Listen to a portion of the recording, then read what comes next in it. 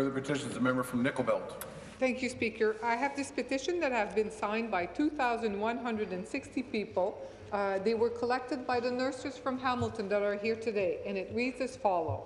Whereas providing high-quality universal public health care is crucial for a fair and thriving Ontario, and whereas years of underfunding have resulted in cuts to registered nurses and hurt patient care, and whereas in 2015 alone, Ontario lost more than 1.5 million hours of nursing care due to cuts, and whereas procedures are being offloaded into private clinic not subject to hospital legislation, and whereas funded services are being cut from hospital and are not being provided in the community, and whereas cutting skilled care means patients suffer more complication, readmission, and death.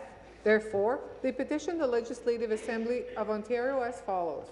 Implement a moratorium on RN cuts, commit to restoring hospital-based operating funding at least to cover the cost of inflation and population growth, create a fully funded multi-year health human resource plan to bring Ontario's ratio of registered nurse to population up to the national average, and ensure hospitals have enough resources to continue providing safe, quality and integrated care for clinical procedures and stop plans for moving such procedure into private, unaccountable clinics.